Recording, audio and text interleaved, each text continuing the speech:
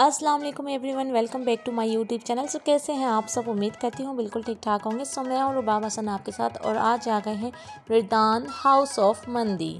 Specially जो है हम यहाँ पर मंदी खाने ही आए हैं। तो स्टार्टिंग में ही जब हम इंटर हुए तो यहाँ पर I think so waiting area था।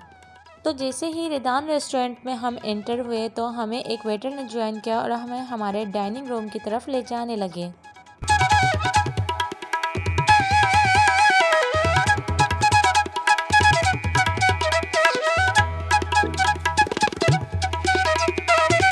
यहाँ पर ऊपर इसलिए नहीं जा रही थी क्योंकि हसन की कॉल आ गई थी और वो लग गए थे अपनी कॉल में मसरूफ़ थे और मैं जो है यहाँ पर कह रही थी, इनके साथ ही मैं ऊपर जाऊँगी। तो जैसे ही ये आए, हम भी ऊपर की तरफ़ चल दिए। विदान रेस्टोरेंट जो है, हम फ़र्स्ट टाइम आए हैं। काफ़ी खूबसूरत ये बना हुआ है।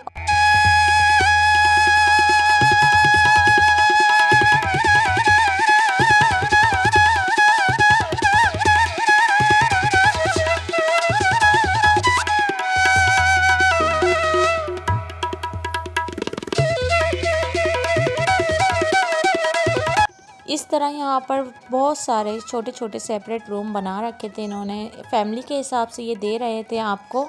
अगर फैमिली मेंबर्स ज़्यादा होंगे तो आपको बड़ा रूम मिलेगा और अगर आपकी फैमिली मेंबर्स कम हैं तो आपको छोटा रूम मिलेगा। काफ़ी अच्छा ठंडा माहौल था और बिल्कुल इजी होकर कंफर्टेबल होकर यहाँ पर आप बैठ सकते हैं और बेझिझक आराम से जैसे मर्ज़ी खा सकते हैं।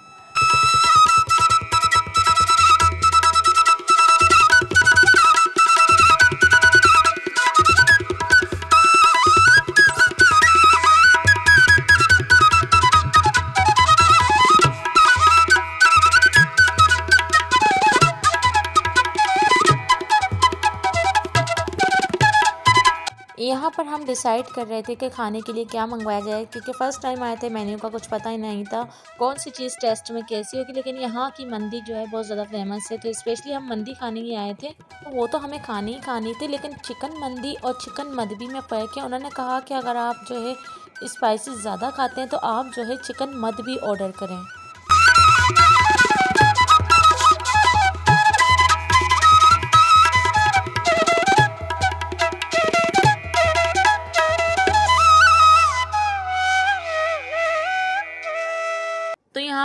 वेट कर ही रहे थे तो इन्होंने जो है हमें यखनी सर्व की।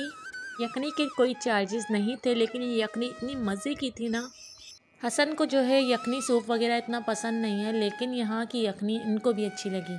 वेटर ने हमसे कहा था, आपका ऑर्डर आने में जो है 20 से 25 मिनट लगेंगे जब तक आप जो है यखनी इंजॉय करें। तो यखनी इंजॉय भी नहीं कर पाए थे। माशाल्लाह से जो है इनकी सर्विस इतनी अच्छी है कि हमारा खाना हमें 10 मिनट के अंदर ही मिल गया।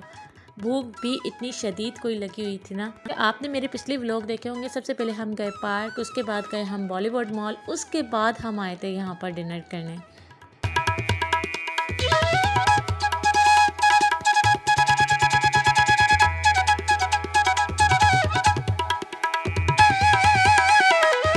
अल्हम्दुलिल्लाह डिनर यहाँ पर हमारा हो गया था और जो है खाना बहुत ज़बरदस्त था।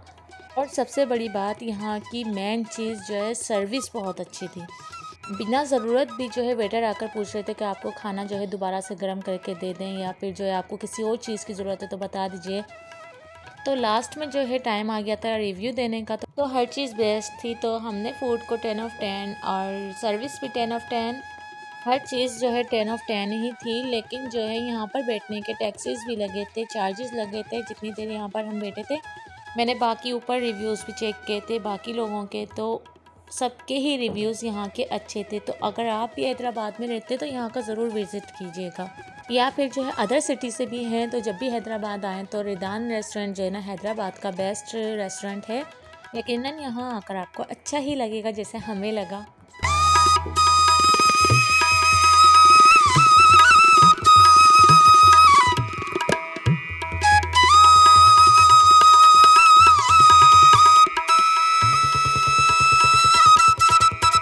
यहाँ पर हमने थोड़ी सी तस्वीरें वगैरह बनाई, काफ़ी अच्छी यहाँ पर पिक्स आ रही थी। यहाँ पर आपको ये भी बताती चलूँ कि रिदान रेस्टोरेंट वालों ने इस साल जो पोजीशन होल्डर बच्चे थे, जिन्होंने फ़र्स्ट पोजीशन हासिल की थी, उन सबको इनवाइट किया था, चाहे वो हैदराबाद के किसी भी स्कूल में पढ़ते हों। तो काफ़ी अच्छी ऑफ़र इन्होंने जो है बच्चों के लिए दी थी। बच्चों को अप्रिशिएट किया था। लेकिन सुमैया जो है इस साल से स्कूल लगी। अगर सुमैया भी जाती तो मुझे यकीन है, सुमैया भी फ़र्स्ट पोजीशन तो ले ही आती। और हम भी जो रिदान में जाकर फ्री डिनर करके आ जाते हैं। लास्ट में यहाँ पर आप जो रिदान रेस्टोरेंट का मेन्यू भी देख सकते हैं और इनका कॉन्टेक्ट नंबर भी यहाँ पर है। इनके फेसबुक पेज पर जो है काफ़ी अच्छी अच्छी डील आती रहती हैं। तो यही था मेरा आज का व्लॉग इंशाल्लाह जो है आपसे नेक्स्ट व्लॉग में मुलाकात होगी। जब तक के लिए दें इजाज़त। अल्लाह हाफिज़।